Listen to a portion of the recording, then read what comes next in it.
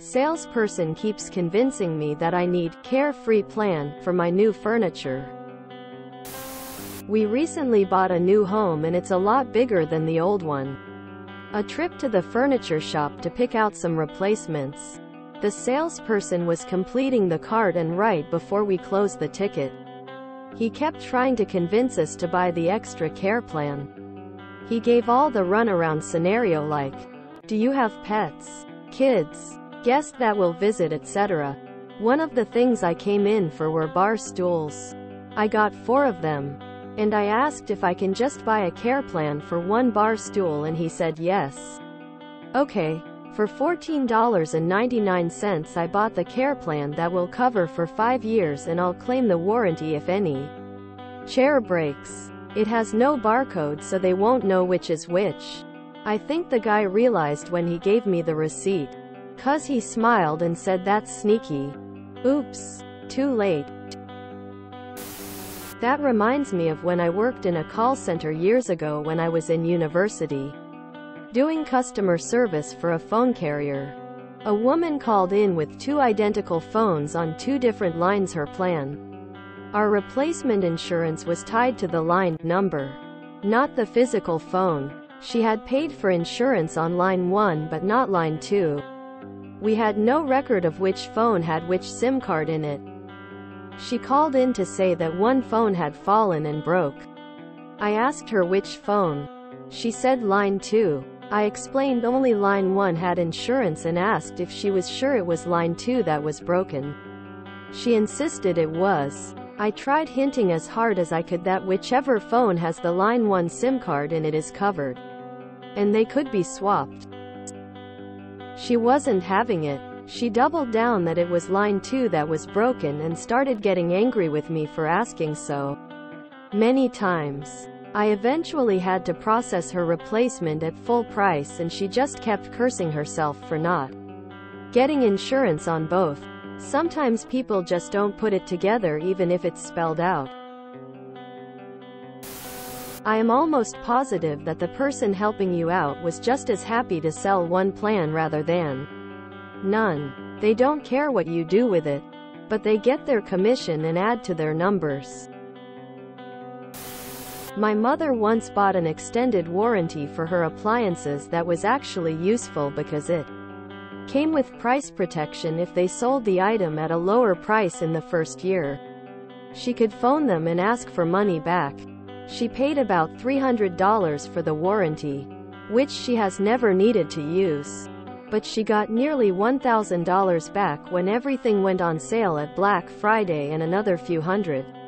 When they went on sale again for Boxing Day, I never would have guessed those could actually work out in your favor. I used to work for a hardware store. We were constantly reminded how we absolutely have to sell the extended warranty. No one wanted to buy it. I don't blame them. I'm not one to get a warranty for absolutely everything thing I purchase. The store had a 90-day return policy anyways. But if anyone bought any cordless tool that had a lithium battery I would just say buy the one year extended warranty and come in before the day it expires and just tell them it stopped working. They don't even inspect it they just replace the entire unit including the lithium battery. It's like getting a new tool and battery for a quarter of the price of your original purchase. But a year later, was a good loophole because if you know you'll be using it a lot you're going to want to replace the lithium battery anyways and just the battery itself costs a lot. Thanks for the idea op.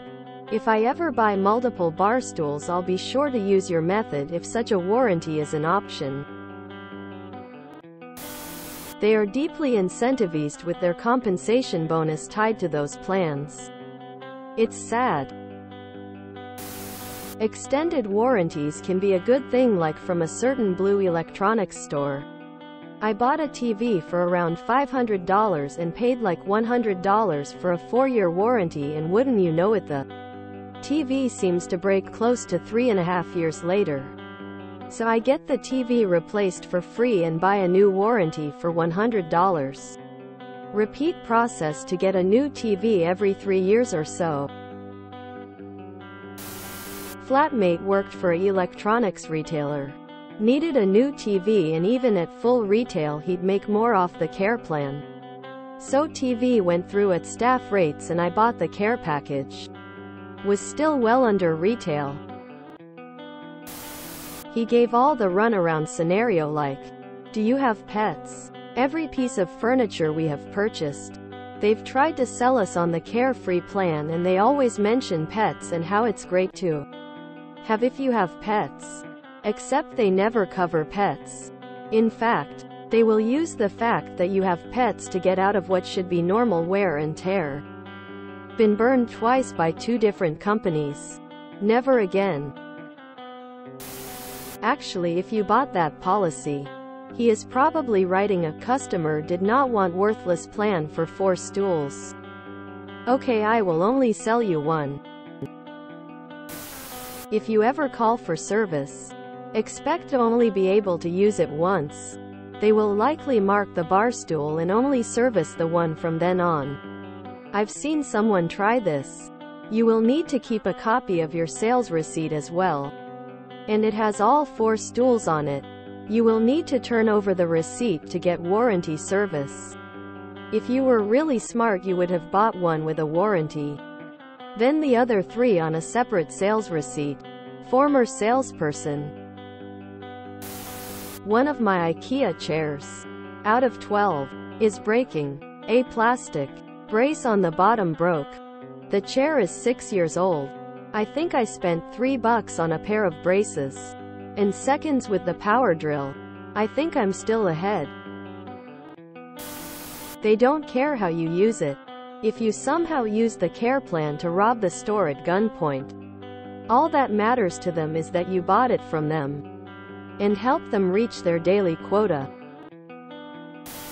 Best in mind that if you buy something like a sofa from a place like Ashley, Havertys, Bassett, etc., the warranty is worth it because that furniture is poorly made and you will use that warranty. Salesperson tried to convince me to buy a carefree plan. So I bought one. Take that Mr. Salesman. Not gonna lie. I wish I did it. We bought our second house and thought nah. Don't need it. We bought all new living room furniture and didn't give it a second thought. Fast forward about six months and thought another cat would be cool. Our current cat never scratched anything. Our new one is the damn devil. Now both of them suck. I legit have the tags from the store on the back of my couches still but nothing I can do because I declined the warranty. I wish I would have. Maybe this will help some poor dummy like me. If not, please no hate. Actually if I were him I'd use that to his advantage. His manager probably breathes down his neck about making sure to ask every customer. Every time. About those stupid plans. That's a really good way to pitch it and will likely result in more plans sold.